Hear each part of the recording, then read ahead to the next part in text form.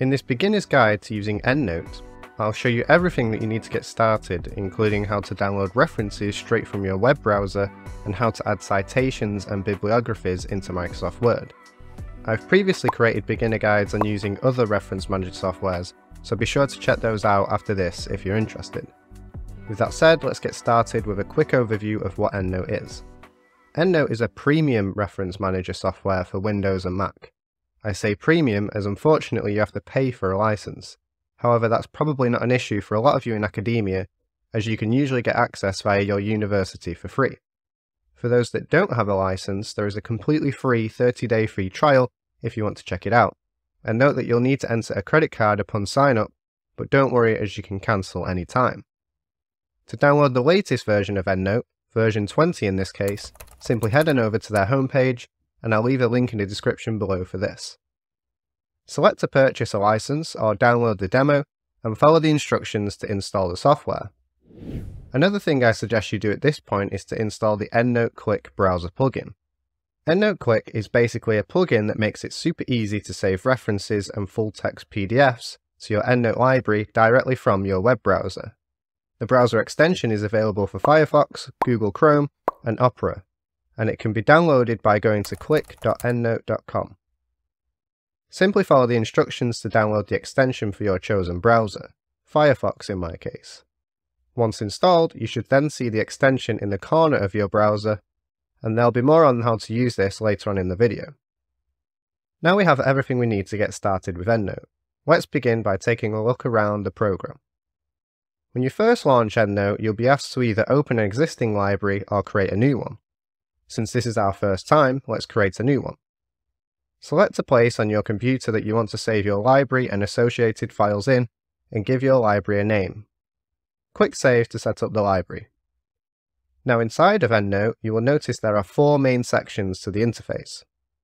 On the left, we have a sidebar where you can toggle to view all your references, those recently added, and those that you have deleted.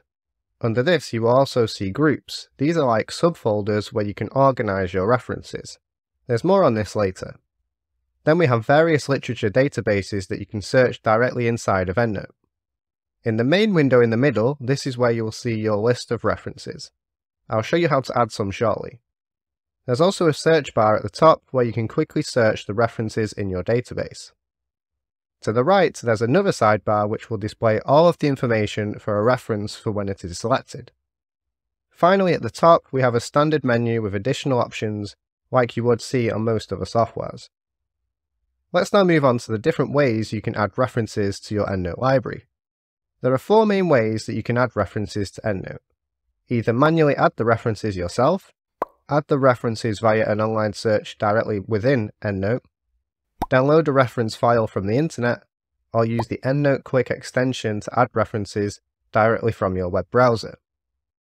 To manually add a reference yourself, click on this icon here, or go to References, New Reference. This will open a new window where you just need to manually populate the fields with the information for your reference. I'll do this for a journal review article that I found online and if you have the full text PDF for this reference, you can switch to the PDF tab and upload this from your computer. Once you're happy with your entry, switch back to the Edit tab and click Save to add it to your library. You can then close this window. You can now see that the reference is listed in the main window. What about adding references via an online search inside of EndNote? To do this, you will obviously need to ensure you have an internet connection. In the sidebar to the left, select one of the online search databases. You can also use the plus icon to add additional search databases, and in some cases this can include your institution's library database. For this example, I'll search PubMed. You can then use the search options at the top to populate fields that will find your reference. For journal articles, you can usually just enter the lead author's name, the journal it was published in, and the year. Then hit search. Once the search is complete, you should see the results listed below. If you can't find the reference that you're looking for, then you may need to tweak your search terms and try again. Here's the reference I am interested in. To add this to my EndNote library, I'll simply select it and click the plus icon. Now I have two of the same references in my library, but the one I just added does not contain the full text PDF. I know this because it does not show a paperclip icon next to the entry, unlike the version I added manually. A cool tip to automatically search and download PDFs for references that do not have one is to right click on it and select Find Full Text. EndNote will then search the internet to see if it can find the PDF. This doesn't work all the time, but if the journal article is open access, then it usually works. Now I have a full text PDF added.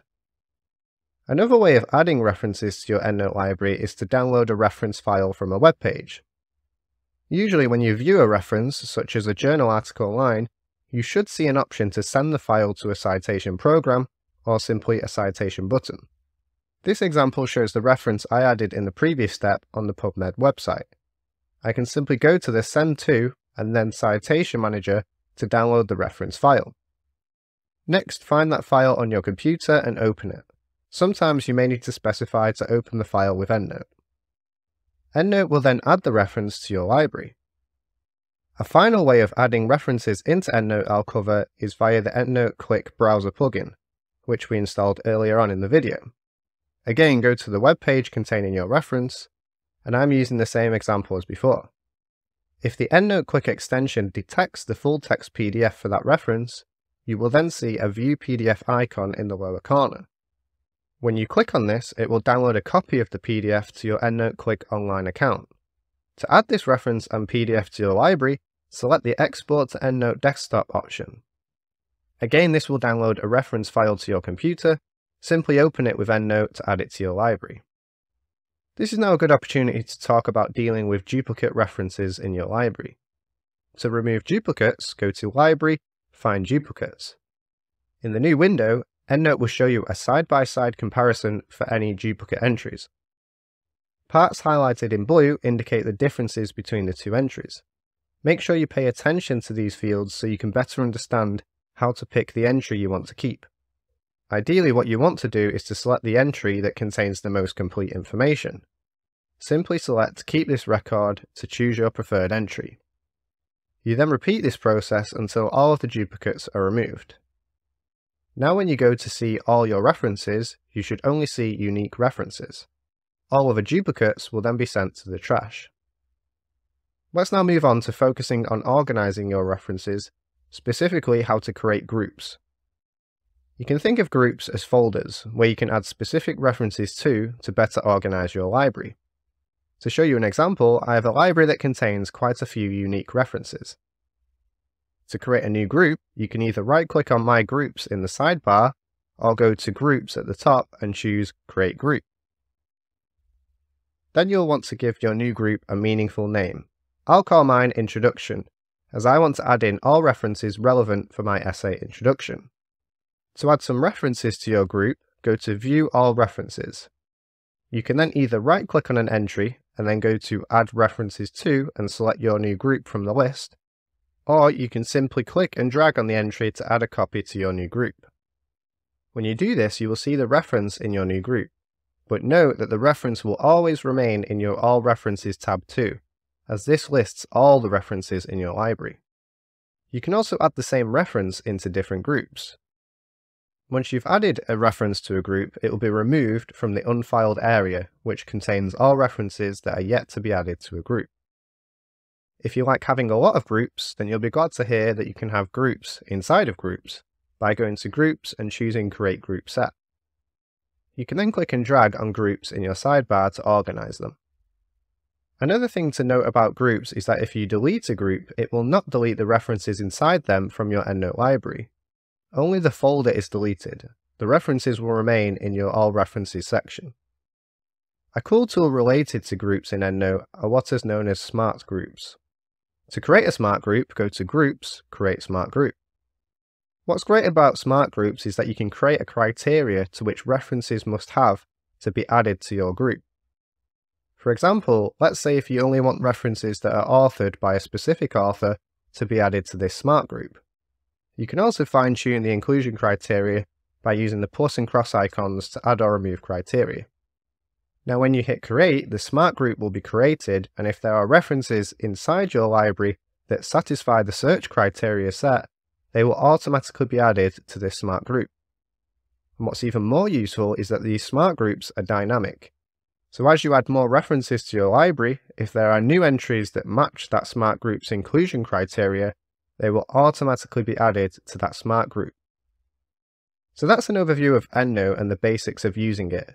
I'll now move on to automatically creating citations and a bibliography or a reference list inside of Microsoft Word by using the EndNote Cite While You Write extension. When you install EndNote, the Cite While You Write function in Word should be added to the ribbon at the top. Sometimes you might not see this. If so, try right-clicking on the ribbon and selecting Customize Ribbon. Then find the EndNote option and ensure it is ticked. Let's take a quick look around the EndNote options inside of Word. To the left, you can add and edit citations. This is the option you will likely use the most. Next to this, you can change the citation and bibliography style. Then there are a few other options you can tweak after this. Adding a citation from your EndNote library into Word is super easy. Simply click on the area in your document where you want to add the citation. Then select the Insert Citation button. It's then a case of using the search box to find the reference in your library. Usually entering an author's name does the trick. Then select the correct entry from the list and click Insert. You can now see the citation in Word. Another thing that will happen after adding your first citation is a bibliography will be created at the end of the document.